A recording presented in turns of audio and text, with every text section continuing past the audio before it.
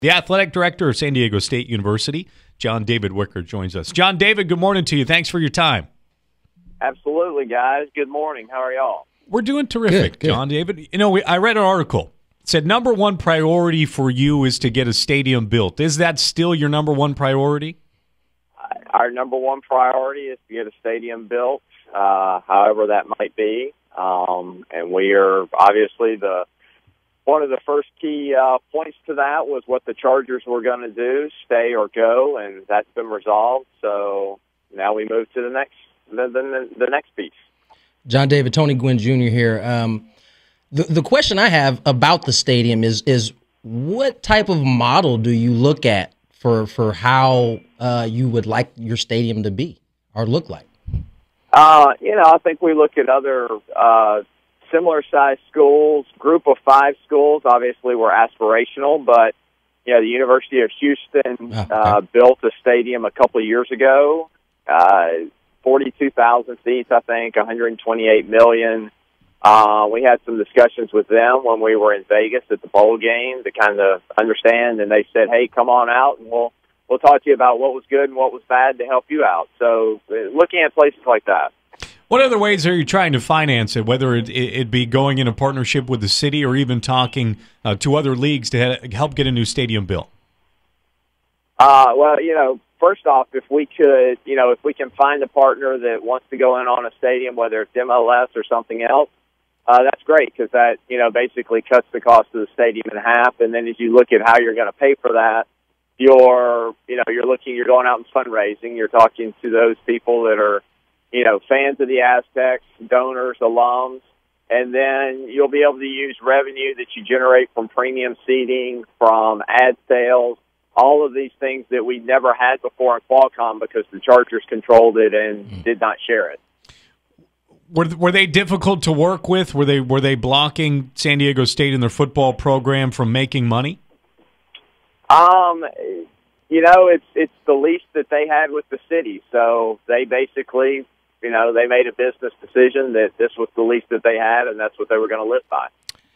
John Davis, switching gears for a second. You know, everybody wants to talk about the new stadium or a possibly possibility of a new stadium, but as a former Aztec, uh, you're taking over uh, an athletic really programs that are really starting to grow and and kind of flourish a little bit. Not only in football and and basketball. Uh, the baseball teams looks like they're going to have a good season. You had soccer teams playing well. This is the first time I can remember where so many sports teams were playing well. I mean, was did that play into it when when the, you got the job offer to take over at San Diego State? Absolutely. You know, I was I was here for four years before with Jim Sterk, That's and right.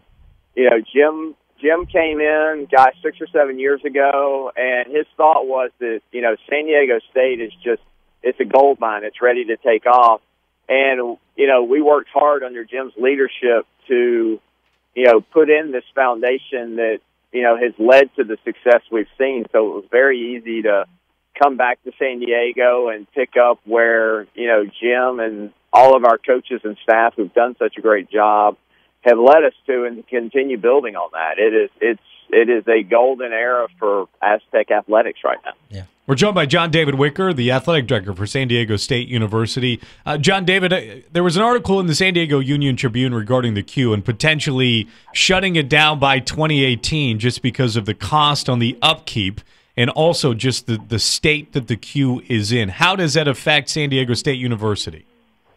Uh, you know, we've been having good conversations with the city, with the uh, mayor's office to you know, getting a lease extension written up that there would be another two years added that would go before the city council. And we'll continue having, you know, those conversations to, you know, hopefully get a lease that gives us the time that we need to figure out a stadium solution. You know, and again, uh, we're not the only ones impacted. You've got the, uh, you've got the bowl games as well.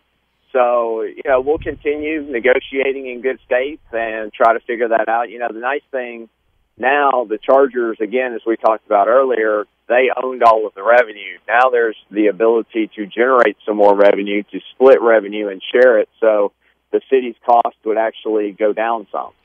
John, is, is there an ideal spot uh, location wise that that you would like to see a stadium put up? I mean, obviously with the Chargers, it was the, the back and forth between Mission Valley and, downtown. Is is there a particular spot that you're interested in? You know, we've been asked that question a lot, and Mission Valley makes the most sense. While you know you'd love to have a, a stadium on campus, you get that there's such a great feel when it happens. That's just probably not realistic currently. Yeah. Uh, downtown, we feel is it's too difficult for our students to get to uh, to be able to get to the game, and then you know a lot of alums and fans up in North County. It's it's just easier at Mission Valley, and you've got a lot of the infrastructures already there. So Mission Valley just makes sense. John David, there's a lot of intrigue out there as far as the the Raiders. The Raiders are looking to move. San Diego is is believed to be a very very viable NFL location. However, it almost sounds as if the Chargers were a hindrance. Would you be against partnering with another NFL team? Uh, you know, one, uh, sorry to see the NFL leave town. I mean, that's such an important, you know, thing to be able to say about San Diego and for our community that we're an NFL community, and we are an NFL community.